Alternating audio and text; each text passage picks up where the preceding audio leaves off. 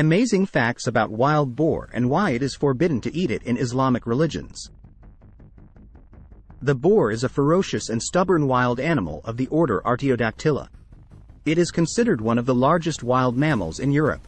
He plays from time to time with mud in order to make his skin moist or to get rid of parasites. Like the domestic pig, his snout ends with a snout, nose, by which he digs the ground in search of food. In order to search for food, he can pass 50 kilometers in the day, or in pursuit of a better climate for living. If he rubs his teeth in the forest, it is said that he is breaking nuts, and this means that he is ready to attack. The weight of the big male is about 150 kilograms, so care must be taken with him. He has front fangs growing and erect towards the top, and the upper jaw fangs form his first line of defense. His head is wide, his neck is short, and his body is strong but agile. The wild boar is a coward who hides at the slightest noise.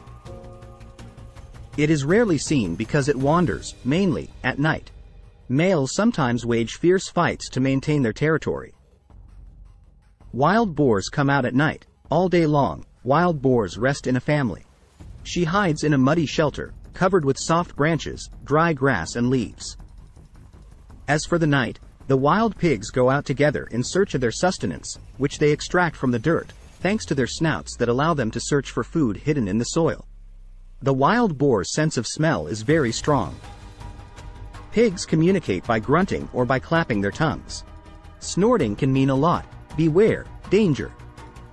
A group of wild boars can plunder a field of corn or potatoes in one night. A sow can give birth to 10 to 14 young at once, which she defends bravely. Pigs live in a family, only elderly male pigs live alone.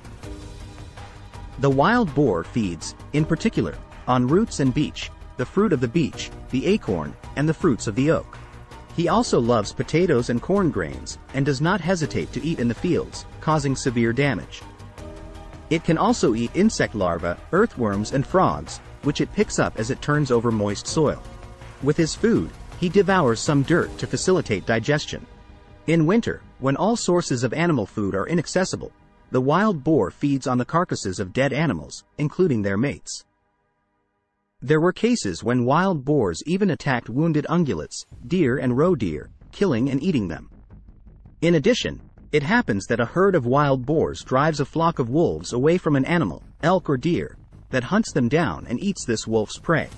In Central Asia, there have been cases of wild boars attacking domesticated sheep. How long do wild boars live? In the wild, the wild boar's longest lifespan is 15 years, and the average is 10-12 years. In captivity, wild boar can live much longer, up to 20 years, on average 15-17 years. Pork meat is forbidden to Muslims because Islam forbids eating its meat of all kinds, whether wild or domesticated pigs. And wild boar is known to the Arabs in North African countries as haloof or goblin.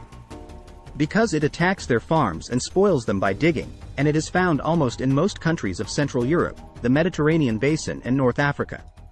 The Islamic religion forbids eating it because of its very serious harm. What are the benefits and harms of pork? With a large number, wild boars can cause significant damage to agriculture. Fields of grain, vegetables, melons, and more suffer from the raids of wild boar herds.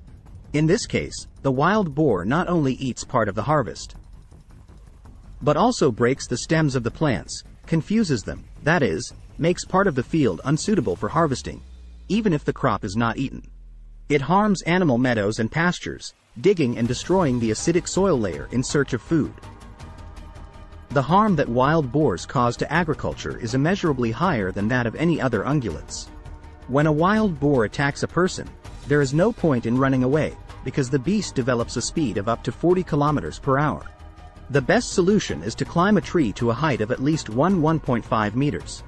If there are no trees nearby, and the boar attacks, it is necessary to abruptly retreat to the side, moving at high speed.